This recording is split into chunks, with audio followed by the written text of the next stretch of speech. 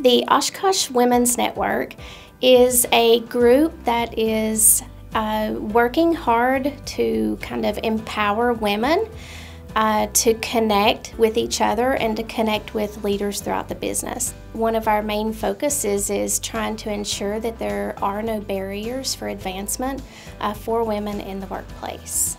Being able to be in a group of women that are helping empower other women has given me a sense of belonging because I'm a person that loves to pour into other people. So that gives me an opportunity to, to really, you know, find myself through helping others find themselves.